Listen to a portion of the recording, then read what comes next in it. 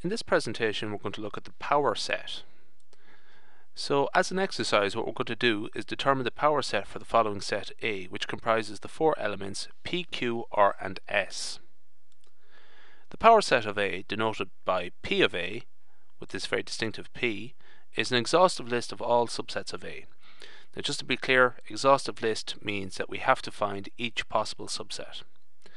The empty set and A are two such subsets. So A is a subset of itself. So important point to start off with, the cardinality of set A is 4. That is to say there are four elements in set A. So the cardinality of the power set of A is going to be 2 to the power 4, i.e. 16. So I've uh, set up this table here uh, to provide a very structured approach to what we're going to do.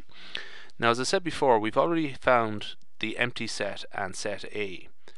So what we have here is the subsets of uh, the various sizes. So we know that, that we could have a subset of size 0 which is the empty set and there's going to be one of those and we have a subset of size 4 which is A itself, P, Q, R and S and we have one of those. I'm going to describe how we get these other numbers later on but just to remark there is other the subsets we have to find are subsets of size 1, of size 2 and of size 3. We'll start off with a very simple uh, uh, group of subsets and we're the subsets of size 1 all we have to do here really is just pick out each individual element of A and class that as a possible subset. So we have P, Q, R and S. So we have four more there. The next thing we're going to do is consider what would happen if we selected P, what gets left in A. Well, consider that Q, R and S will get left. And what we can do is consider that as another possible subset of A. So just think of what, what gets left over when we take out each of these uh, values here and we would get QRNS, PRNS, PQNS, and PQNR. Okay, and we've four more, found four more there. So that just leaves us six to find, and these are the subsets of size 2.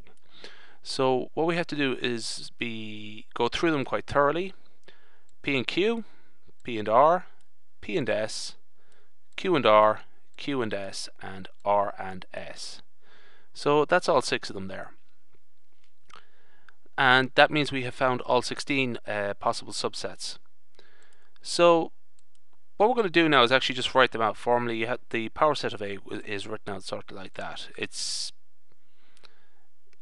not the easiest thing to look at, but uh, so when you have a sort of structured approach like the table I used previously, I'm just going to slide back there, it, it makes it easier to sort of um, figure out what you're doing.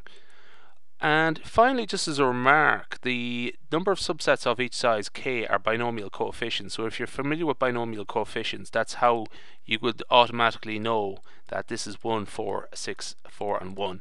If you don't know what they are, not to worry. I won't get um, into them now.